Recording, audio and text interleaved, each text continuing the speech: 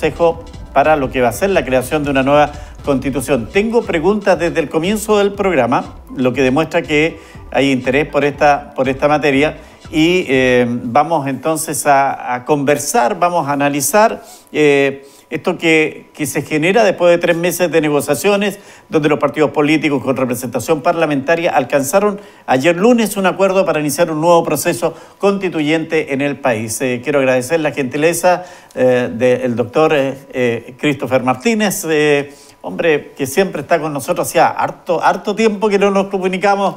Christopher, ¿cómo está? Bienvenido. Entiendo que está en la capital de la perla del Biobío, ¿verdad?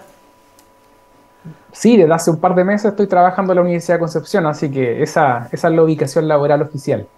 Perfecto, perfecto. Bueno, em, a ver, eh, deja harto, harto de, análisis por lo, por lo repentino, por lo, por lo que fíjese que en lo personal pensé que no íbamos a alcanzar el acuerdo eh, este año. Eh, ¿Cuál era su mirada respecto a estas negociaciones que tenían los partidos, Christopher?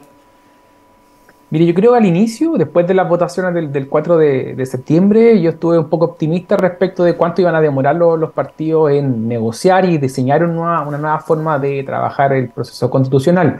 Pero a medida que fueron pasando los días, se vio cierto exitismo en la derecha, no muchas ganas de colaborar y en el fondo de adaptarse a, los requerimientos de la izquierda, que había salido profundamente derrotadas en, el plebiscito.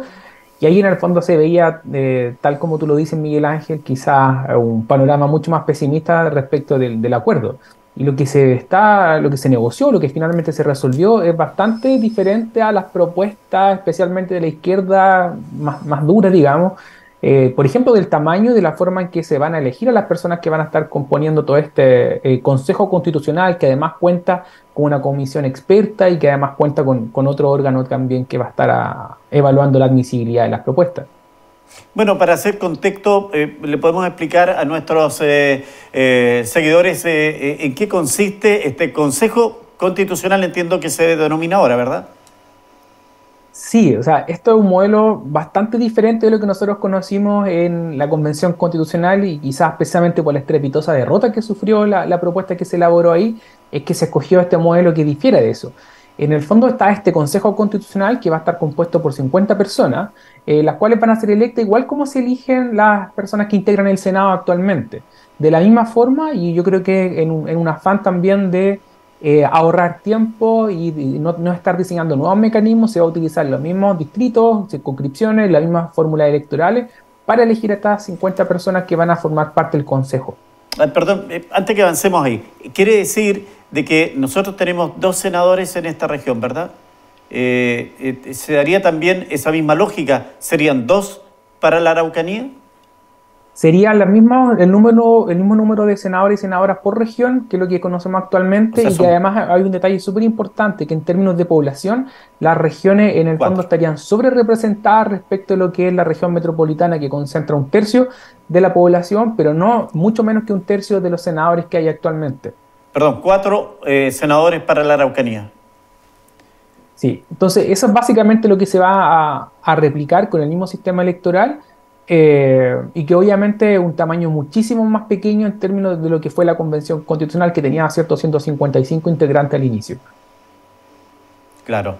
Eh, y eh, parece que donde hace un poco de, y llama un poco la atención es esta situación de los designados, que son 24 entiendo, y, que esto lo, lo, resuelve 12 la Cámara de Diputados, 12 el, el Senado. y claro, dicen, pero si lo van a elegir eh, los eh, eh, miembros de partidos políticos, va a ser un cueteo increíble. Voto por el tuyo, tú votas por el mío, nos arreglamos. Eso parecía que es lo que hace más, llama más la atención y como que hace ruido respecto de esta conformación para lo que va a ser la nueva constitución del país. Sí, la, comisión experta tiene por lo menos esa, esa crítica en el fondo que se le está haciendo, que en el fondo cuál es la procedencia y cómo vamos a definir qué personas son expertas en un área, cuáles no son, de dónde provienen, eh, y obviamente como van a ser nombrados, como tú bien dijiste, por la Cámara de Diputados y Diputados eh, y por el Senado, va a haber este, influencia política entre quienes se van a estar designando, porque la comisión experta tiene el trabajo de elaborar un anteproyecto, que no es necesariamente lo que se va a ofrecer para que la gente vote, sino que va a ser una propuesta que después va a ser sometida al Consejo Constitucional, donde van a, sí, van a estar las 50 personas democráticamente y popularmente electas, eh, y ellos van a elaborar ¿cierto? este anteproyecto y que después puede sufrir modificaciones y que se tiene que aprobar precisamente por el Consejo Constitucional. Pero sí, en el fondo, eh, hay, yo creo que hay que disipar esta, este manto como de independencia de, de los expertos y las expertas, porque obviamente su llegada va a obedecer a criterios políticos. Sí, eh, estamos viendo precisamente imágenes de eh, el anterior proceso con los constituyentes, que dicho sea de paso, entiendo que ninguno de ellos puede ser postulado para eh, integrar eh, este nuevo, nuevo proceso de, construcción constitucional. Sí, o sea, legalmente en el fondo se encontrarían inhabilitados, pero también yo creo que éticamente no correspondería que se retiran en el fondo la, participación, precisamente por el fracaso histórico que tuvo la Convención Constitucional. De todas maneras pueden seguir opinando y haciéndolo desde sus vitrinas como ciudadanos y ciudadanas, pero ese ya es un, es un rol distinto. Eh, y otro dato que, yo creo que es importante discutir, Miguel Ángel, respecto a la comisión experta, es que se dice que no van a ser remunerados. Eh, y eso tiene, tiene un impacto entre qué personas pueden darse el lujo, ¿cierto?, de participar en una instancia como esta sin recibir una remuneración al respecto, que más o menos ya sabemos que van a ser personas de la élite si esa es la condición. Mm. Eh, hay, hay, que ir viendo paso a paso ha costado eh, llegar a este acuerdo 90 días y eh, lo que viene ahora eh, también yo creo que no va a ser fácil, Christopher, ¿verdad? Sí, yo creo que por lo menos hay, hay, un, hay una legitimidad de que se tomaron el tiempo los distintos partidos políticos y se criticó la participación, por ejemplo, de Amarillo, que está en la firma del documento, pero hay más o menos un acuerdo transversal respecto de lo que se requería. No todas las personas quedaron contentas, no todos los partidos quedaron contentos, pero por lo menos eso te da un buen pie de inicio para este proceso. Pero obviamente, eh, si algo se aprendió de, la farra que se denomina de la Convención Constitucional, es precisamente en que las cosas pueden empeorarse y que pueden haber problemas que entorpezcan rápidamente la legitimidad del, del nuevo proceso.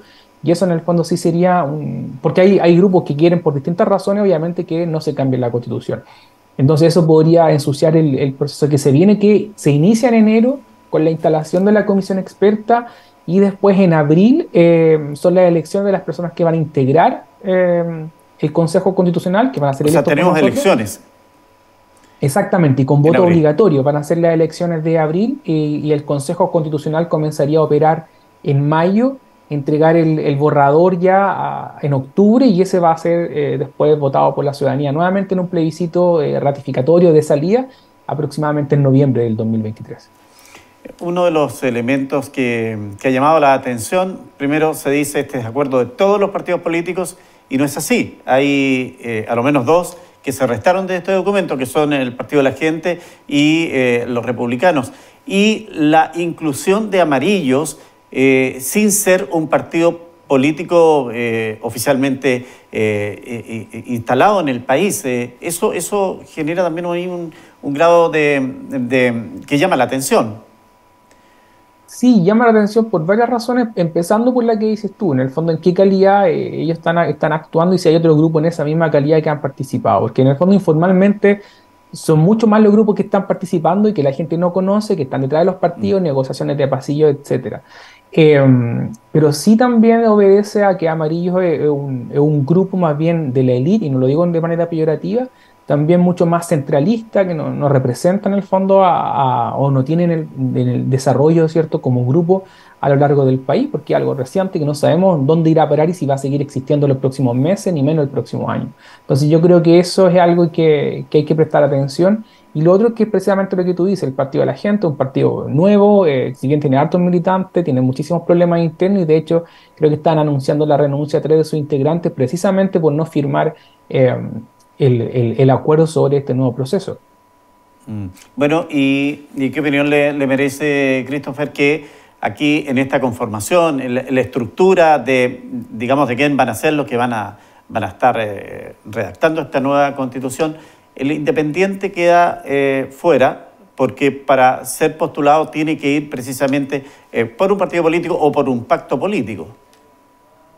Sí, yo creo que eso es, algo, es un paso adelante. Yo creo que fue un error precisamente de la Convención Constitucional el haber integrado con tanta facilidad las listas de independientes. Em, y también porque en el fondo restringe un poco la competencia de quién puede entrar. Ya vimos todas las eh, exageraciones, ¿cierto?, que se vieron dentro de la Convención Constitucional y la política tradicional no está exento de eso. O sea, vemos distintos shows, ¿cierto?, en el Congreso eh, de manera recurrente y de manera lamentable. Eh, pero sí por lo menos los partidos van a tener un poco más de control entre quienes nominan y yo creo que tienen que haber aprendido la lección eh, de que, por ejemplo, habían partidos políticos que incluían entre sus listas a personas independientes pero que no tenían militancia dentro del partido por lo mismo. Y que después, una vez que, por ejemplo, comenzó la convención constitucional, ellos se distanciaron rápidamente, aunque hayan sido electos en, la, en las listas precisamente de los partidos. Yo espero en el fondo que tengan un poco más de consideración en eso y que estemos en una vuelta de ciclo respecto del fortalecimiento gradual de los partidos y que además requieren que se conecten mucho más con la, ciudad, con la sociedad y con la ciudadanía. Sí, efectivamente. Eh, nos está viendo Eugenio Carinado, nos dice, proceso constituyente que nació de la fuerza social en las calles el 19 de octubre, más otras demandas hasta hoy, no han cambiado en nada. Seguimos igual. Se luchó para que precisamente no hubiera intervención de partidos políticos y hoy está pasando esto. Partidos defienden sus intereses, nos engañaron.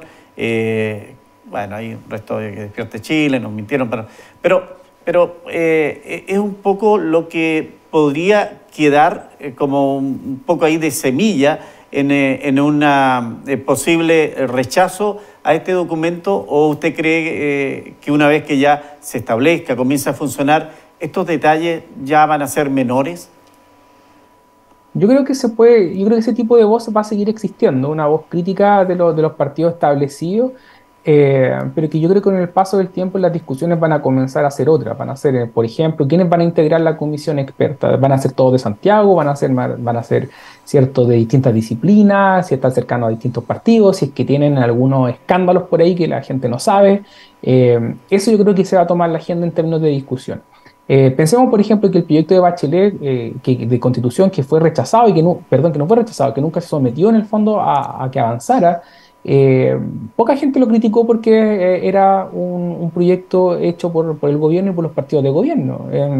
Entonces, eh, yo creo que ese no es el estándar para medir por qué en el fondo un, proceso como este es más válido que el otro. Yo creo que el proceso mismo va a ir integrando a la gente y ojalá despierte algún grado de interés como lo hizo también la convención, pero de una manera mucho más positiva de lo que fue la convención la cobertura mediática, por ejemplo, que tuvo. Christopher, le está saludando Jorge Espinosa, dice, buenas tardes. Cuando habla de la élite, ¿se refiere a quién eh, son expresidentes, políticos o millonarios? O sea, nuevamente una burla y esto da una nueva rebelión del pueblo. ¿Podemos llegar a una situación como el, 19 de octubre, eh, Christopher, eh, a, propósito de, este origen de, la nueva forma de escribir la Constitución? yo creo que no puede descartar que algo así ocurra, pero no, no creo eh, que se dé precisamente al acuerdo que se acaba de, suscribir. ¿no? creo que ese sea el motivo que incendie eh, o que promueva en el fondo este tipo de, situaciones. Eh, sí puede ocurrir, pero por ejemplo por la situación económica, si es que se contrae, si es que sigue bastante crítica, si es que la inflación sube, si es que en el fondo el gobierno del presidente Boris se ve muy afectado y tiene algún grado de quiebre al interior de sus coaliciones, eso sí puede gatillar movilizaciones, obviamente exigiendo mejoras del sistema y los partidos con dificultades para dar cuenta. Pero no creo que lo que se suscribió ayer vaya a generar tanta, en el fondo, molestia en la ciudadanía para que concertadamente miles y miles de personas salgan a las calles a, manifestarse. Y en ese momento no era una manifestación por lo demás, por una nueva constitución, sino que era una suerte mm. de insatisfacción con el sistema en general. Eran por los 30 pesos de, del alza del metro, ¿es cierto? Eh, oiga, aquí alguien me, hace, eh, me copia declaraciones de eh, el diputado Kaiser y dice, acuerdo constitucional es ornitorrinco, político. Chile Vamos sacrifica pureza democrática de la convención al mezclar expertos y meter paridad y escaños reservados. Con esto se ignora el voto del plebiscito de salida para satisfacer a una izquierda radical. Eh, pareciera que hay, dos sectores que eh, están descontentos, no queda duda.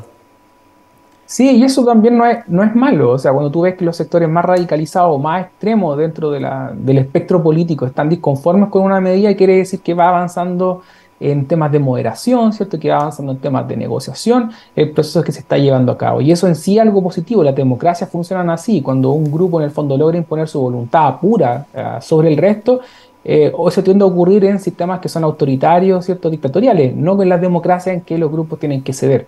Entonces, que exista gente descontenta, yo estoy seguro que en la derecha, en la izquierda y en el centro hay gente descontenta, pero por lo menos han sabido lidiar con eso y quienes están encontrando mayores dificultades para lidiar con eso son las personas de los extremos. Eso significa de que entonces se está apuntando a un objetivo que es lo que, como lo decía el presidente esta mañana, todos los sectores tuvieron que ceder. Eh, y yo creo que la izquierda fue la que más eh, tuvo que ceder en todo esto y de, alguna manera, eh, si es que tenemos que avanzar es que tenemos que entendernos y, del caso contrario vamos a estar pasándonos años y años en, sacar esta constitución, porque ojo, ¿ah? los republicanos dicen claramente, si no es necesario cambiar esta constitución, mostrando su disposición a mantener la actual Carta Magna.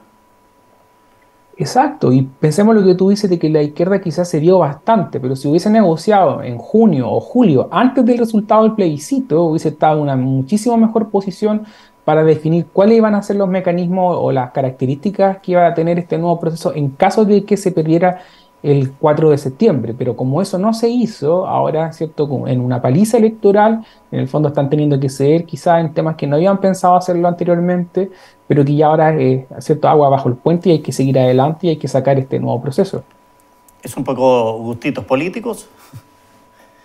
Sí, yo creo que había una lectura de que si se comenzaba a discutir acerca de una potencial derrota en el plebiscito, eh, iba a exacerbar ese ánimo de derrota y la gente iba a ir a votar en contra, que fue algo que ocurrió de todas maneras, pero en el fondo no, no se dejó ningún otro camino como alternativa para poder continuar en una mejor posición en el proceso. Y por tanto, eso ocurrió en que en la primera semana hubo muchísimo desconcierto, incluso negación de los resultados en términos de que la gente no leyó, que la gente no se informó, que fue mal informada en lugar de hacer un mea culpa y una autocrítica que muchos sectores dentro de la convención sí lo hicieron, sectores de la izquierda me refiero.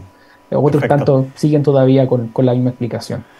Bueno, esto va a ser materia de aquí en adelante, como decimos en prensa, noticia en desarrollo y sin lugar a dudas, el 2023 se vuelve un año político nuevamente con dos procesos eleccionarios local. Obligatoriamente vamos a tener que estar presentes. Así que, Christopher, un abrazo, muchas gracias por todo y si no nos vemos, felices fiestas de fin de año. Para ti también, Miguel Ángel, muchas gracias.